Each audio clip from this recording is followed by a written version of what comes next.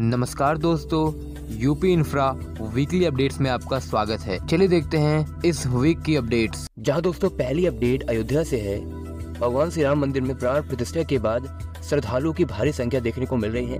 कुछ दोस्तों unofficial sources हैं, जहाँ से पता लग रहा है करीब पाँच लाख श्रद्धालु प्रेसिडेंट टेंपल में विज़िट कर रहे हैं और इस तरह से अयोध्या, इंडिया के अंदर one of the major temple town बनकर उभरा है। दोस्तों, उम्मीद यही लगाई जा रही है कि ये सभी टेंपल टाउन्स को इस ईयर में ओवरटेक कर देगा। इसके अलावा एस ने इसमें एक रिपोर्ट पेश की जिसमें कहा गया है कि करीब 25 करोड़ का रेवेन्यू उत्तर प्रदेश की इकोनॉमी में ऐड होने वाला है। और उत्तर प्रदेश का जो टूरिस्ट एक्सपांडिचर है, यानी कि उत्तर प्रदेश में जो टूरिस्ट आकर पैसा खर्च करते हैं, ये फाइनेंशियल ईयर 25 तक फोर लाख करोड़ तक पहुँच जाएगा, ऐसा एस्टिमेशन है। इसके अलावा अयोध्या के अंदर एट ग्रीनफील्ड टाउनशिप प्रोजेक्ट्स को अप्रूवल दे दिया गया है। इनका टोटल आउटले 4500 करोड़ है। दोस्तों, ये eight greenfield township private companies द्वारा सेटअप की जा रही हैं। नेक्स्ट अपडेट मिर्जापुर से है, जहाँ दोस्तों माँ विंध्यवासिनी टेंपल कॉरिडोर मिर्जापुर में बन रहा है और इसका जल्द ही इनोग्रेशन हो सकता है। इसके पहले फ़ेज़ का काम ऑलमोस्ट कंप्लीट हो गया है। यहाँ पर दोस्तों इसका जो ब्लूप्रिंट है आप देख सकते हैं। एक्चुअल ड्रोन फुटेज है, इसको देख सकते हैं। आपको पता लग जाएगा कि जो मेजोरिटी ऑफ़ वर्क होना था फ़ेज़ वन के तहत, वो कंप्लीट हो गया है। दोस्तों ये कॉरिडोर लगभग सेफ़ ले चुका है। जल्द इसका इनोग्रेशन प्रधानमंत्री नरेंद्र मोदी करेंगे। नेक्स्ट अपडेट एक हाईवे से है, जहाँ दोस्तों प्रधानमंत्री नरेंद्र मोदी जल्द ही 184 kilometre long Kanpur, Aligarh highway का इनोग्रेशन करेंगे। दोस्तों, ये एक ब्राउनफील्ड प्रोजेक्ट था और इस हाईवे को सिक्स लेन तक एक्सपांड किया गया है। करीब 3500 करोड़ की कॉस्ट से यहाँ पर सिविल वर्क किया गया है। कि ऑपरेशनल होने के बाद दिल्ली से कानपुर तक का जो ट्रैवल डिस्टेंस है, ये 90 किलोमीटर तक कम हो जाएगा। 2019 में इस पर निर्माण कार्य शुरू हुआ था। नेक्स्ट अपडेट पिलकुआ से है। जहाँ दोस्तों, गाजियाबाद की एक फर्म पिलकुआ डिस्ट्रिक्ट में 510 करोड़ की इन्वेस्टमेंट करेगी और इस इन्वेस्टमेंट से ये यहाँ पर कई सारे फ्लैट्स डेवलप करेगी। करीब 1200 रेजिडेंशियल फ्लैट्स डेवलप करेगी with theatre school commercial building etcetera और यहाँ पर दोस्तों, निर्माण कार्य शुरू होने के करीब दो वर्ष के अंदर इसका निर्माण कार्य कंप्लीट कर लिया जाएगा। नेक्स्ट अपडेट यूपी गवर्नमेंट की सीसीटीवी प्रोजेक्ट से संबंधित है। जहाँ दोस्तों यूपी गवर्नमेंट ने एक सिग्निफिकेंट अचीवमेंट हासिल की है जिससे उत्तर प्रदेश की सेफ्टी और सिक्योरिटी इन्हेंस हुई है खासकर महिलाओं और बच्चों के लिए Uttar Pradesh urban development department home department से कोलेबोरेशन करके ये प्रोजेक्ट चला रहे हैं करीब एक लाख सीसीटीवी कैमरास को उत्तर प्रदेश के अंदर सेटअप कर दिया गया है और ये प्रोजेक्ट स्मार्ट सिटी मिशन के तहत सेटअप किए गए हैं। सत्रह म्यूनसिपल कॉर्पोरेशन है जहाँ पर इन सीसीटीवी कैमरास को स्थापित किया गया है। ज़्यादातर शहर में इंटीग्रेटेड ट्रैफ़िक मैनेजमेंट सिस्टम को भी स्टेब्लिश कर दिया गया है, जिसके तहत जो सड़कें हैं उनकी मॉनिटरिंग हो रही है। इंटीग्रेटेड ट्रैफ़िक मैनेजमेंट सिस्टम एक सेंट्रलाइज्ड सिस्टम होता है, जो कि दोस्तों कैमरा मॉनिटरिंग के लिए उपयोगी साबित होता है। सड़क पर जो दुर्घटनाएँ होती हैं, उस पर तुरंत अलर्ट और प्रतिक्रिया के लिए ये बनाया जाता है। इसके अलावा गवर्नमेंट सेफ्टी मिशन के तहत इसमें कई सारे स्कीम्स वो लॉन्च कर रही है और इन स्कीम्स के सारे वो सिक्योरिटी को बढ़ा रही है। दोस्तों सेफ़ सिटी मिशन के तहत उन एरियाज़ को आइडेंटिफाई किया गया है, जहाँ पर घटनाएँ ज़्यादा होती हैं, जहाँ पर लाइटनिंग की व्यवस्था नहीं है, वहाँ पर सीसीटीवी कैमरास पुलिस की निगरानी और इसके अलावा वुमेन के लिए एक स्पेशल नंबर तो ये सारी चीज़ें यहाँ पर इन्होंने लॉन्च की है।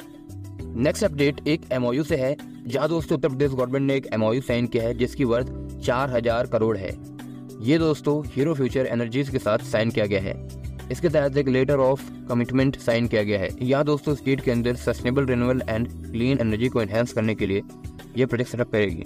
ये एमओयू डावो स्विट्जरलैंड के अंदर साइन किया गया है। दोस्तों हीरो फ्यूचर एनर्जी करीब टू गीगावाट की कैपेसिटी एडिशन करने वाली है अपने पोर्टफोलियो में और ये इंडिया वियतनाम बांग्लादेश यूके में इन्वेस्ट कर रही है। इंडिया के अंदर ये उत्तर प्रदेश में काफ़ी अच्छा खासा निवेश करने जा रही है। हालाँकि दोस्तों, कितना निवेश ये करेगी ये अभी कंफर्म हमें नहीं पता है, लेकिन इसने ये कमिटमेंट किया है कि उत्तर प्रदेश के अंदर निवेश करेगी।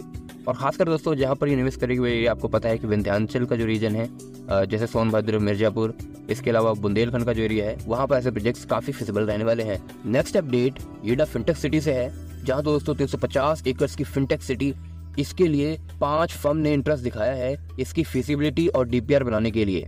इसमें jail C B S South Asian PVT limited युवांटा solutions Tractable engineers लुसमन एंड वेकफील्ड इन सभी इन पाँच कंपनीज़ में से एक कंपनीज़ को एज अ कंसल्टेंट इसी मंथ के अंदर फाइनलाइज किया जाएगा।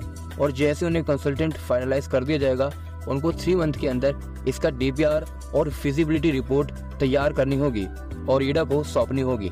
यहाँ पर दोस्तों फिनटेक सिटी से संबंधित जो काम है, ये काफ़ी तेज़ी से चल रहा है। नेक्स्ट अपडेट ग्रेटर नोएडा से है, जहाँ दोस्तों Singapore based S T Tel media data centre इसने अनाउंस किया था कि ये इंडिया के अंदर कई सारे ग्रीन फ़ील्ड प्रोजेक्ट्स लाएगा और ग्रेटर नोएडा और लखनऊ के अंदर अपना डेटा सेंटर सेटअप करेगा। ग्रेटर नोएडा के अंदर ग्रेटर नोएडा अथॉरिटी ने इसको 10 एकर्स का लैंड पार्सल दिया था, जो कि अभी इसने एक्वायर कर लिया है। और यहाँ पर दोस्तों 150 करोड़ के इन्वेस्टमेंट से ये डेटा सेंटर सेटअप करेगा। इसने ऑलरेडी डेवलप सेक्टर 143 नोएडा के अंदर अपना एक डेटा सेंटर सेटअप किया था, जो कि इसे ऑपरेट करता है। इसका पहला फेस ऑपरेशनल है और दूसरा फेस निर्माणाधीन है। टोटल दोस्तों इसकी कैपेसिटी 35 मेगावाट की है। नेक्स्ट अपडेट कानपुर से है, जहाँ दोस्तों प्राज इंडस्ट्रीज़ ने कमीशन कर लिया है अपना पहला इथेनॉल प्लांट दोस्तों ये जो इथेनॉल प्लांट है आर टी आर स्टेरीज रानिया कानपुर में स्थित है। इस प्लांट की production capacity 150 kilolitre per day है। कंपनी ने निर्माण से करीब एक साल के अंदर इसको बनाकर तैयार कर दिया है। नेक्स्ट अपडेट अगेन कानपुर से है, जहाँ दोस्तों यूनियन मिनिस्टर जहाँ दोस्तों यूनियन मिनिस्टर मनसुख मांडविया ने virtually super speciality hospital at Ganesh Shankar Vidyarthi memorial medical college Kanpur में इनोग्रेट किया है एक सुपर स्पेशलिटी हॉस्पिटल, जो करीब 210 बेड की कैपेसिटी वाला हॉस्पिटल है। यहाँ पर दोस्तों 200 करोड़ रुपीस की इन्वेस्टमेंट के साथ इसको डेवलप किया गया है। इसके अलावा कानपुर के अंदर एक All India Institute of Speech and Hearing satellite centre इसका भी फाउंडेशन स्टोन लेट किया गया है। इसके अलावा A double I S H satellite centre यहाँ पर audiology speech language pathology communication disorder इन सबको ट्रीट किया जाएगा। करीब पर ईयर पंद्रह हज़ार पेशेंट्स को ट्रीट करेगा। नेक्स्ट अपडेट वाराणसी से है, जहाँ दोस्तों यूपी गवर्नमेंट ने प्रिंसिपल अप्रूवल दिया है यूपी पीडब्ल्यूडी को to develop 300 kilometre long outer ring road यहाँ पर दोस्तों करीब बारह हज़ार करोड़ की एस्टिमेटेड कॉस्ट के साथ इसको डिफरेंट डिफरेंट फेसिस में डेवलप किया जाएगा। पहला फ़ेज़ चंदौली के अंदर होने वाला है। ये रिंग रोड वाराणसी, चंदौली, मिर्जापुर, भदोही, जौनपुर, गाजीपुर को कनेक्ट करेगा एक बड़े आउटर रिंग रोड से। नेक्स्ट अपडेट ग्रेटर नोएडा से है, जहाँ दोस्तों कल प्रधानमंत्री नरेंद्र मोदी जी ने इंटीग्रेटेड इंडस्ट्रियल टाउनशिप इसका इनोग्रेशन किया है। दोस्तों ये जो टाउनशिप है, ये 750 एकड़ में फैली हुई है और ये गौतम बुद्ध नगर और ज़्यादातर बुलंदशहर डिस्ट्रिक्ट के अंदर बनाई जा रही है। करीब 1700 करोड़ की इन्वेस्टमेंट इसमें रिक्वायर्ड है, जिसके तहत इसका डेवलपमेंट होगा। इसको दिल्ली मुंबई इंडस्ट्रियल कॉरिडोर और Greater Noida industrial development authority jointly बना रहे हैं। ऑलरेडी एट कंपनी से यहाँ पर इन्वेस्टमेंट कर दिया है, जिसमें Haier electronics फार्मे mobile Sanskriti infotainment Chenfeng LED company JW world electronics अगर हम कंबाइंड इन्वेस्टमेंट की बात करें तो करीब चार हज़ार करोड़ का इन्वेस्टमेंट यहाँ चल रहा है। दोस्तों, ये टाउनशिप एक मैन्युफैक्चरिंग टाउनशिप है, जहाँ पर world class manufacturing facilities provide की जाएँगी इंडस्ट्रीज़ को ट्रेड कंपनीज़ को बिजनेसेस हाउसेस को। सो so गाइस आज की इस वीडियो में इतना ही। अगर आपको ये वीडियो पसंद आए तो वीडियो को लाइक करें चैनल को सब्सक्राइब करें। धन्यवाद आपका ये वीडियो देखने के लिए। मिलते हैं नेक्स्ट वीडियो में।